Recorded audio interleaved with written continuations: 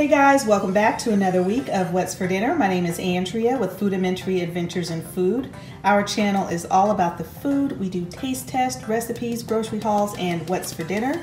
And that is what we are kicking off today. Um, and as you guys know, I'm still on a mission to use up stuff in my pantry and my freezer. And so everything that you see today came from our fridge or freezer except for the fresh Brussels sprouts. So today we are having some baked potatoes that I made in the air fryer. This is Howard's plate right here. He has some butter and sour cream. And then we have these ribeye. So this is Howard's ribeye. And then Howard grilled some whole Brussels sprouts that we picked up today from Tom Thumb and he just seasoned them up and grilled them. And they're actually really good. And this is my plate. I have the exact same thing except my steak is smaller and I have a lot more butter in my potato. I have sour cream as well and some peppers you can see there and some salt. So this is what we are having for dinner tonight and we'll see you guys next time.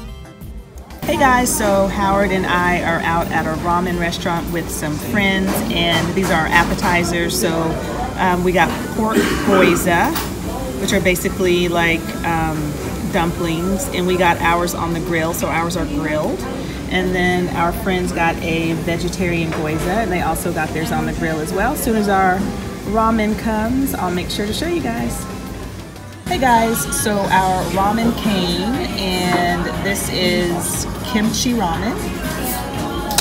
And here is seafood ramen. This is spicy miso. Spicy miso. And then I just got the plain old ramen Hakata ramen. So this is what we're having for dinner tonight. See you guys next time. Hey guys, we are using up some more stuff from our freezer and we are having shrimp scampi lasagna from Trader Joe's. Here it is. I got this on a grocery haul from Trader Joe's. I'll try to remember to link the video in the description box so you can see everything we picked up but it says a creamy lasagna with shrimp and a white wine and garlic butter sauce. And it says on the package that it serves three and a half, or there are three and a half servings, I should say. Um, but Howard and I, the container is very small, and so we just split it in half. And here it is. Get a close up for you. So it is definitely creamy, definitely buttery. Um, so if you're into really creamy, creamy things, you'll like it. You definitely do taste the shrimp. I will say it's very flat. So it's not like a really thick lasagna. It's very, very, very flat. And then um, we are also having some garlic bread. I've talked about this garlic bread before. I got this from Tom Thumb. It's their store brand and it is really, really good. Crushed garlic, mozzarella, Parmesan, Romano, Asiago, and provolone cheese with a natural smoke flavor. It's delicious, I love it. Probably more than the Pepperidge Farm. And I thought we were gonna have salad tonight, but I um, didn't realize I didn't have any salad.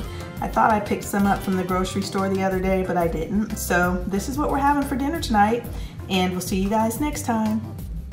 Hey guys, so for dinner tonight, we are using up some more stuff from our freezer and pantry.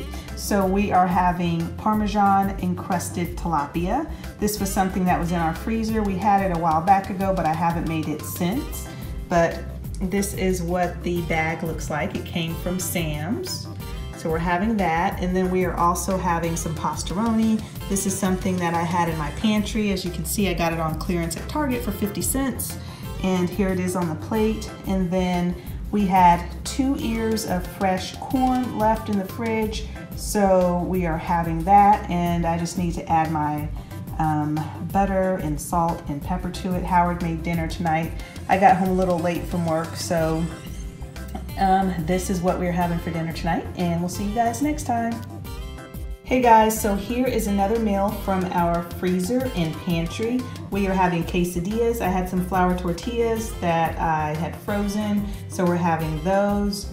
We are also having some pinto beans that Howard made that's garlic in there, if you're wondering what that is. So he made some pinto beans, and then I made the Mexican style um, rice, and I actually have a video on how to make this rice. It's so simple. I don't buy box Mexican or Spanish rice anymore because it's so easy.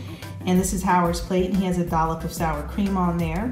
And um, another thing that we used from our freezer is this chicken fajita meat, John Soules. I had this in the freezer and I wanted to use that. So every single thing on our plate today came from home. I didn't go out and buy anything, still trying to use up stuff.